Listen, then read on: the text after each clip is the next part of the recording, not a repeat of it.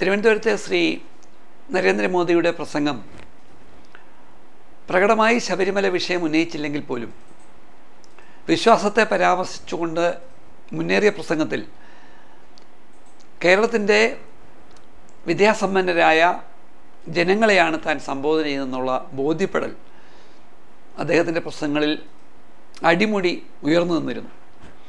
അതുകൊണ്ടാണ് അദ്ദേഹം രാജ്യത്തിന്റെ സുരക്ഷിതമായ മുന്നോട്ടുള്ള കുതിപ്പിൽ ശൂന്യാകാശവുമായി ബന്ധപ്പെട്ടുള്ള വിഷയങ്ങൾ പോലും പരാമർശിച്ചത്.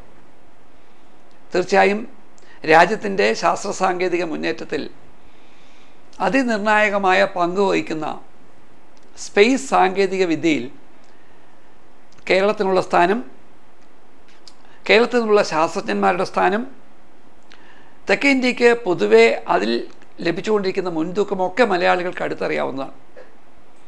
അങ്ങനെ അദ്ദേഹത്തിന്റെ പ്രസംഗം മുന്നേറുമ്പോഴാണ് ശ്രീ നമ്പി നാരായണനുണ്ടായ തിക്ത അനുഭവങ്ങൾ അദ്ദേഹം വിശദീകരിക്കുന്നത്. എല്ലാ മലയാളികളും ഏറെ ഉത്കണ്ഠയോടെ കേട്ടുകൊണ്ടിരുന്ന സംഭവമായിരുന്നു ശ്രീ നമ്പി നാരായണവുമായി ബന്ധപ്പെട്ടത്. അതിന് പിന്നിൽ കോൺഗ്രസിലെ ഗ്രൂപ്പ് തർക്കമാണെന്ന് പിന്നീട് തെളിയിക്കപ്പെട്ടു. എന്നാൽ ശ്രീ നമ്പി നാരായണനെ ചോദ്യം ചെയ്തതും അദ്ദേഹത്തെ അതിക്രൂരമായി പീഡിപ്പിച്ചതും അത്തരം പ്രവർത്തനങ്ങൾക്ക് അന്നത്തെ ഭരണാധിപന്മാരുടെ താല്പര്യാർത്ഥം പ്രവർത്തിച്ചതും ശ്രീ നരേന്ദ്രമോദിയുടെ വേദിയിൽ തന്നെ ഉണ്ടായിരുന്ന കേരളത്തിന്റെ മുൻ D G P Shri Senkumar ആണെന്നത് ശ്രീ മോദിക്ക് ഒരുപക്ഷെ അറിയില്ലായിരിക്കാം.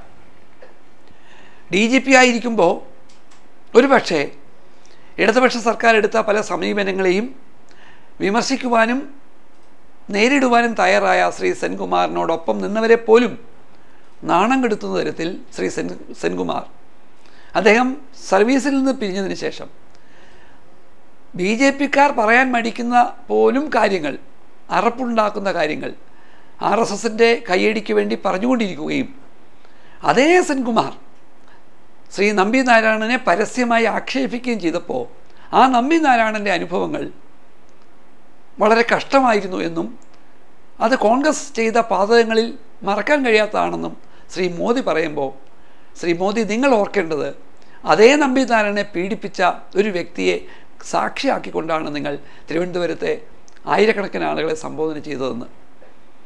ഇവിടെ ശ്രീ മോദിയുടെ പ്രസംഗം ഈ ശാസ്ത്ര സാങ്കേതിക രംഗങ്ങളിലെ ഇന്ത്യയുടെ മുന്നേറ്റത്തെപ്പറ്റി പരാമർശിച്ചതിന് ശേഷം അദ്ദേഹം പോയത് രാജ്യത്തിന്റെ പ്രതിരോധ സേനയുമായി ബന്ധപ്പെട്ടാണ്. യുദ്ധം. ആ യുദ്ധത്തിൽ രാജ്യത്തിന്റെ പ്രതിരോധ സേന നടത്തിയിട്ടുള്ള മുന്നേറ്റങ്ങളൊക്കെ വളരെ ആവേശത്തോട് പറയുമ്പോൾ രാജ്യത്തിന്റെ പ്രതിരോധ സേനയെ ആക്രമിക്കുന്നവരാണ് കമ്മ്യൂണിസ്റ്റുകൾ എന്നും അവരെക്കാലത്തും രാജ്യത്തിന്റെ പ്രതിരോധ സേനയുടെ വിശ്വാസത്തെ സംശയത്തോടെ കാണുന്നവരാണെന്നും അദ്ദേഹം കൂട്ടിച്ചേർക്കുവാൻ മടിച്ചില്ല. ഒപ്പം കോൺഗ്രസ് പ്രതിരോധ രംഗത്ത് പലപ്പോഴും അഴിമതി നടത്തിയിട്ടുണ്ടെന്നും ഒരു എ ടി എം മെഷീനെ പോലെയാണ് പ്രതിരോധ സേനയെ ഉപയോഗിച്ചതെന്നും അദ്ദേഹം പറയുന്നത് ശ്രീ എ കെ ആന്റണിയെ കൂടി മനസ്സിൽ വെച്ചുകൊണ്ടാണ്. എന്നാൽ നമുക്കറിയാം റഫേൽ വിമാന ഉടമ്പടിയിലൂടെ അംബാനി കുടുംബത്തിന് ഏകദേശം മുപ്പത്തൊമ്പതിനായിരം കോടി രൂപയുടെ അഴിമതി നടത്തുവാൻ അവസരമുണ്ടാക്കിയെന്ന് ഇപ്പോൾ വളരെ വ്യക്തമായിക്കൊണ്ടിരിക്കെ.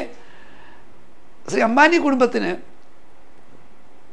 ഫ്രാൻസ് സർക്കാരിനെ സ്വാധീനിച്ചുകൊണ്ട് പ്രത്യേക ഇളവുകൾ വാങ്ങിക്കൊടുത്തു എന്ന് നമ്മൾ കേട്ടുകൊണ്ടിരിക്കുകയാണ് വിദ്യാസമ്പന്നരായ മലയാളികളുടെ മുമ്പിൽ നിന്ന് പ്രതിരോധ സേനയിൽ കഴിഞ്ഞ കാലത്തെ സർക്കാരുകൾ നടത്തിയ അഴിമതിയെ പറ്റി പറയുന്നത്.